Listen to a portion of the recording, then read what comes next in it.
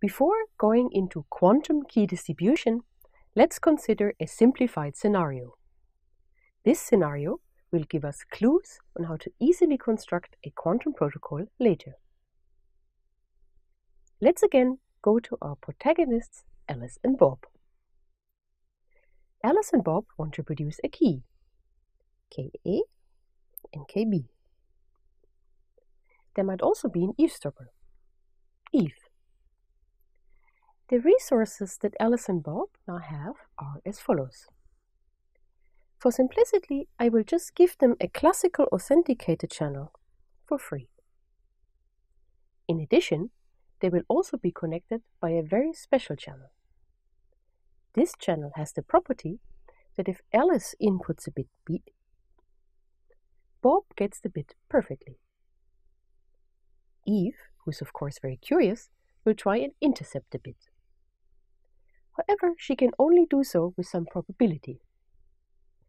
Here, we have artificially introduced a restriction on the eavesdropper Eve. Eve gets the bit with probability p, and she gets a flipped version of the bit with probability 1 minus p. Eve essentially has a noisy version of the bit.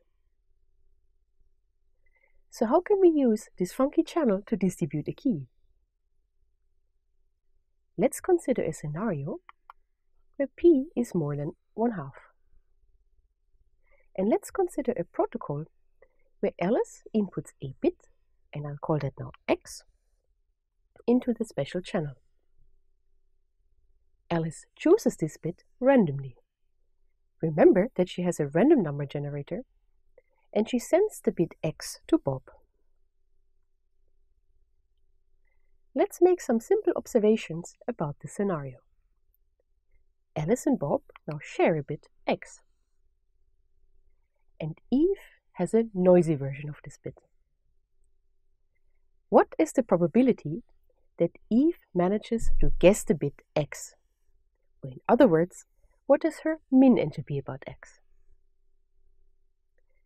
Note that for our choice of probability, Eve's min entropy is just minus the log of p.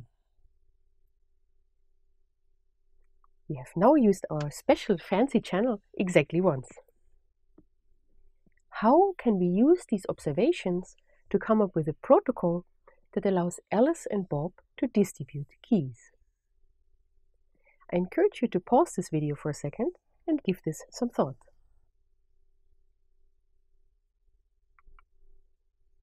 The answer to this is that we are going to do the same procedure many times. In our protocol, Alice chooses n random bits, an entire string x1 up to xn, and she sends it bit by bit over to Bob. Remember that Bob receives the bits perfectly. So now Bob has a string xb that is exactly equal to the string of Alice. Alice now chooses a random string y. You have already learned about randomness extractors and y is the seed of the extractor. And she sends y over to Bob. Alice now computes Ka, being the extractor function x applied to the string xa and the seed y. Because she told Bob through the classical authenticated channel what y is, Bob can apply the same function. So he computes kb being equal to x applied to xb and y. So the question is, why would this be a key distribution protocol? Remember that there are always two things we need to check. We need to check that the protocol is correct, and we need to check the protocol is secure. Let's start with correctness. Note that Bob has precisely the same string as Alice. And he also knows the seed y that Alice has used. So they apply the same function x to the same argument x and y, and this gives us the same outcome. So we certainly have Ka is always exactly equal to Kb. That's great. Our protocol is perfectly correct. Let's now think about why this protocol should be secure. In order to think about this, let's consider now the min entropy that Eve has about Alice's string x given her information E.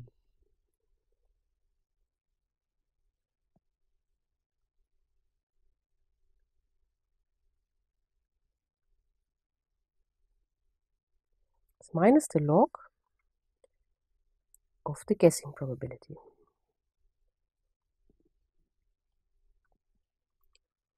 We've already computed the min entropy for just one bit. And now we will compute the min entropy for the entire string. We're interested in what is the probability that Eve guesses all of the bits correctly. And for our special channel, this is minus the log of p to the n, which is just n minus the log of p.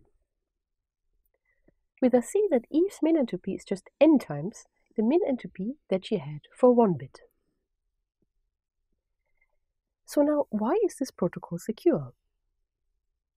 Remember randomness extraction. In the context of QKD, also often called privacy amplification. Alice can use a randomness extractor to turn a somewhat random string x into an almost perfectly random string k. And you've already learned how many bits of key Alice can produce. Namely, the number of bits is roughly the same as the min entropy x given e minus order log 1 on epsilon if we want our key to be epsilon secure.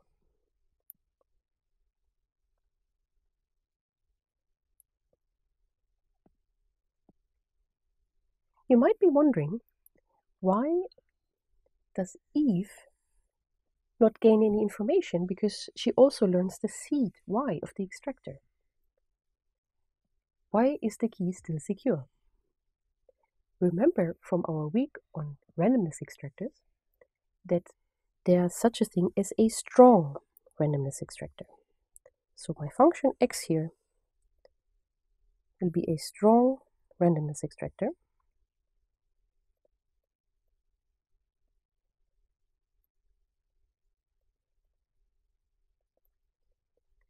And strong randomness have the property, extractors have the property that even if I know the seed y, then nevertheless the outcome,